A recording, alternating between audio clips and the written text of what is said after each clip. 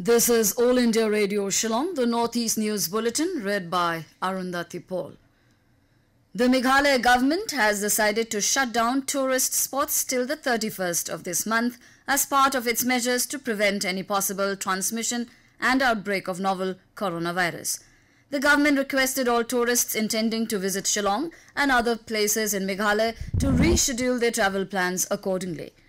The state's preparedness to tackle the spread of COVID-19 was also reviewed by Chief Minister Conrad K. Sangma through video conference with deputy commissioners and medical officers of all districts. The Meghalaya government has also warned that any person found hoarding, black marketing or selling at a higher price than the maximum retail price of masks and hand sanitizers shall be punishable under Section 3 of the Prevention of Black Marketing and Maintenance of Supplies of Essential Commodities Act 1980. Meanwhile, owners of hotels, guest houses and inns in Meghalaya's East Khasi Hills district have been asked to submit a report online regularly within 24 hours regarding the arrival or departure of foreigners in their respective premises in view of the novel coronavirus threat. Over 39,000 people have been screened across Assam as part of measures to prevent the outbreak of the deadly novel coronavirus. The Assam Health Department in its daily bulletin said 11,975 passengers have been screened at six airports in the state till date. While 3,243 travelers were screened at three land ports, 24,029 persons have been screened so far at places like railway stations and bus stands. A total of 634 travelers from COVID-19 affected countries have been identified, out of which 152 passengers completed the observation period of 28 days and the remaining 482 are under home isolation. The government has tested 31 samples so far, out of which 25 came negative and the results for 6 are awaited. State control room numbers 691 double three four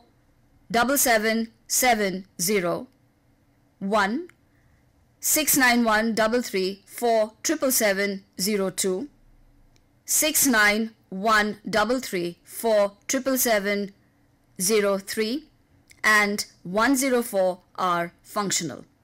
The Assam government has also stopped issuing passes to visitors for entering the state secretariat to prevent the spread of the virus.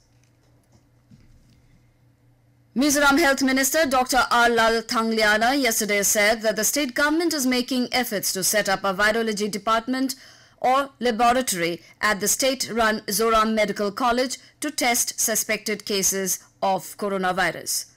Seven blood samples were sent to the Guwahati Medical College and Hospital and six of them were tested negative for coronavirus, while the result of one sample is awaited.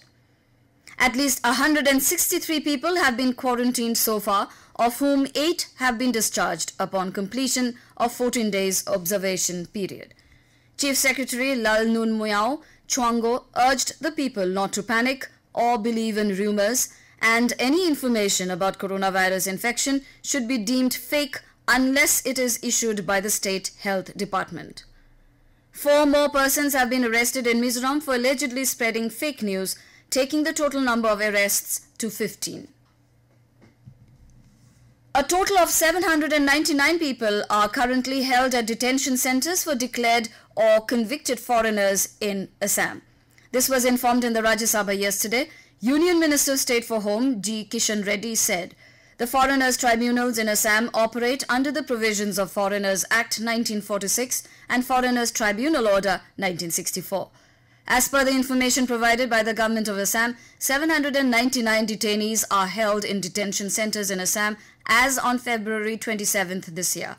Out of these, 95 detainees have completed three years or more in detention, he said while replying to a written question. Reddy said 26 detainees have died during their detention due to illnesses in the past three years and current year. Arunachal Pradesh Chief Minister Pema Khandu yesterday said that the army can play a significant role with its resources by providing training to people associated with the hospitality and adventure sports sectors in the state.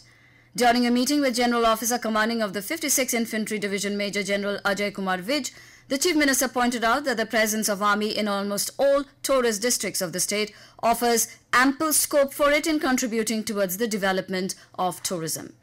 And with that, we end the Northeast News Bulletin from All India Radio, Shillong. Have a nice day.